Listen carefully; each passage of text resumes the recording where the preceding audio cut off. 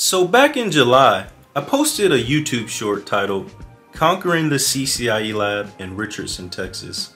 And that video really just quickly documented me getting dropped off in my Uber that morning as I approached the Cisco exam there in Richardson, Texas.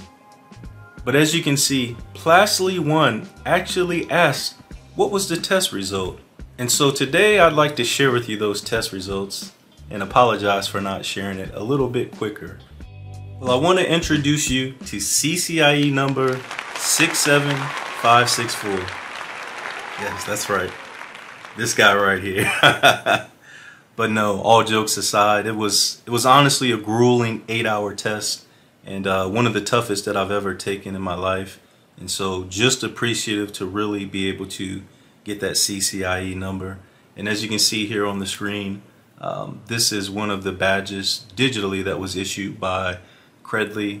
And so I'd like to just really quickly click on this details here. And this is just a service that actually offers digital badges for various um, vendors and different uh, providers of um, certifications around the world to to really not to say authenticate but to prove or validate uh, that a candidate has um, succeeded that so this of course uh, takes you to that CCIE uh, digital badge that as you can see here up top was on my exam date of June the 30th unfortunately when I come here today to let's see click on the actual exam report this is the email that you get when you take any Cisco exam uh, when your pass or fail results are ready.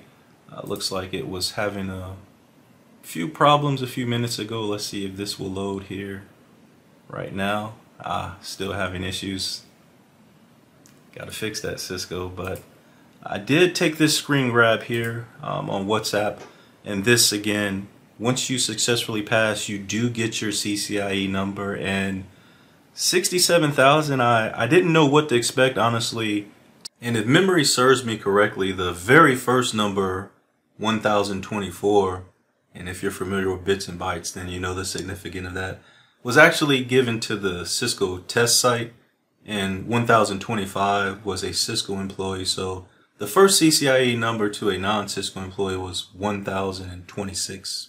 So if you do the math, that was 1993, and 30 years later, um, less than 66,000 candidates at the time of getting this have passed this expert level exam. So that's across the whole entire globe, 2,000 roughly um, folks, men and women that passed this a year. So this one was definitely uh, prestigious. And that Credly badge, again, if you go to LinkedIn, this is, in my opinion, at least here in the United States, one of the most heavily utilized uh, places where um, on your resume and for uh, different friends, jobs, um, anyone that you want to see that, you can actually show that credential and share that link.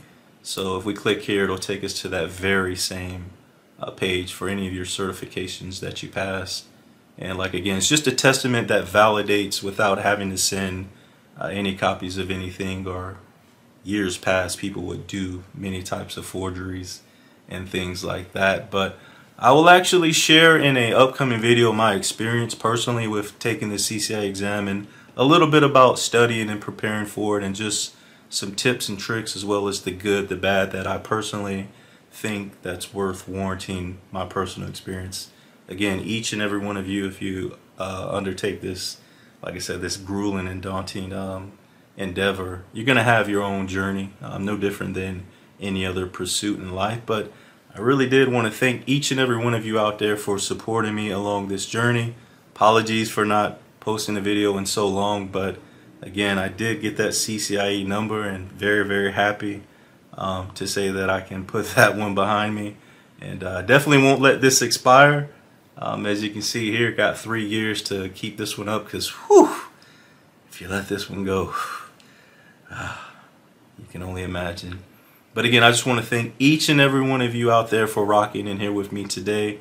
And until next time, stay safe, take care of yourselves, peace.